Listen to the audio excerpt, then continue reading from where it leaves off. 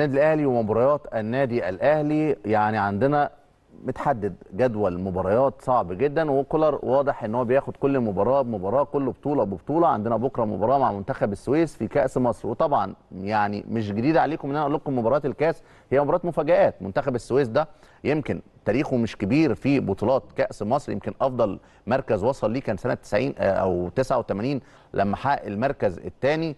الحقيقة كان في الدور قبل النهائي أطاح بنادي الزمالك. دي طبعا 25 يونيو دي مباراة النادي الأهلي. منتخب السويس آه، الساعة 8:30 29 يونيو البنك الأهلي في الدوري. في يوتشر 2 يوليو آه، 5 يوليو الإسماعيلي 8 يوليو آه، الاتحاد. وإن شاء الله يوم 8 يوليو يكون النادي الأهلي بيحتفل رسميا بمسابقة إنهاء مسابقة الدوري العام بشكل رسمي إن شاء الله. لأن نفوذ الأربع مباريات القادمين دون النظر لباقي نتائج الفرق نحقق بطولة الدوري. خليني أرجع لكم لمنتخب السويس. ودايما مباراه مباراة الكؤوس لابد إننا نعمل حسابها بشكل واضح وده واصل لكولر جدا لدرجة إن هو مفيش راحة من بعد المباراة آه، الماضية لأن الأهلي أمام حرس الحدود على طول تاني يوم كان في تدريبات ومستمر في التدريبات.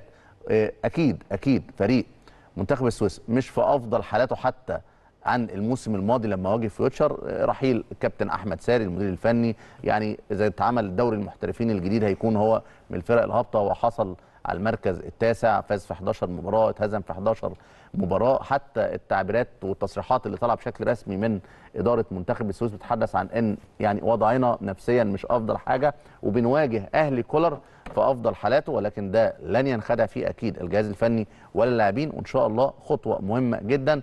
إنك تصل لكأس مصر يا فارس أعتقد مباراة لازم مهما كان مستوى طبعاً. المنافس لازم يكون عندك حذر شديد جدا. طبعاً، ولازم شفنا شفنا بجدية. يعني مفاجآت كتيرة جدا حصلت مع الأهلي وغير الأهلي لا هو بص أنا عايز أقول لك بمناسبة المفاجآت في مباريات بتطمع رغم إن النادي الأهلي غير ولكن تجربة زي بني عبيد مع الزمالك أو بروكسي اللي كاد يطيح بنادي الزمالك لا بتطمع بتدي يمكن بعض الفرق دي تجرأت على فرق الدوري آه، الممتاز بسبب مثلا مباريات زي مباريات نادي الزمالك انت حصل معاك مفاجآت برضو ولكن ده يديك فكرة إن انت لا لازم تظهر بصورتك لازم تظهر بجدية لازم تعبر عن شخصيتك عشان نتجنب تجارب الآخرين والأمثلة أيضا في الكاس في العالم كله للأمانة موجودة محليا لا مع النادي الأهلي. فارس إحنا في, في جيل. عظماء جيل جيل طبعاً. وبركات والناس دي خرجنا من. بطرول أسيوط. فلازم نكون يعني مدي مختلف عن بروكسي وبني عبيد برضه. بترول أسيوط كان ليه وقتها برضه في في الدوري وكان فريق أنت فاهم وقتها قطاع البترول كان فيه اهتمام بكرة القدم كان. هبط رسميا. خلينا في م... كان هبط رسميا. مشوار الأهلي طبعا إذا عبر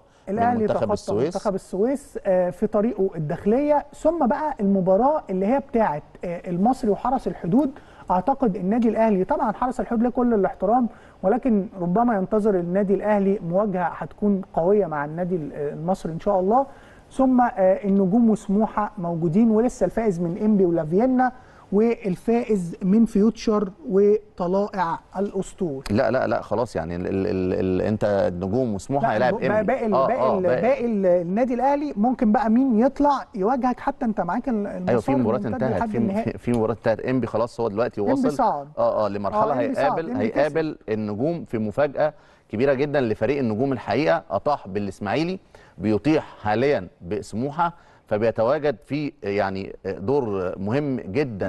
عنده مواجهة أمام إنبي بعد ما إنبي عبر في يوتشر والنادي الأهلي طريقه الطريق ده لو عبر إن شاء الله وإن شاء الله يعبر منتخب السويس يقابل الداخلية ثم الفائز من المصري وحرس الحدود ثم يقابل بقى اللي هيطلع من إنبي والنجوم يعني مش عايزين نقول انبي بقى لأن الحقيقة النجوم بتعمل شغل هايل جدا. فازوا على الإسماعيلي وأطاحوا النهارده كمان بسموحة وده تقريبا كده خلاص هو الحصان الأسود لمسابقة آه، كأس مصر. وإحنا بنمنح كل الفرق حقها يعني بغض النظر عن أي مسميات أو أي يعني تصريحات لمديرين فنيين لكن النجوم الحقيقة عمل آه، بطولة جيدة جدا. نروح طبعا لترتيب أو وضع منتخب آه، السويس في جدول الدرجة الثانية المركز التاسع زي ما قلنا.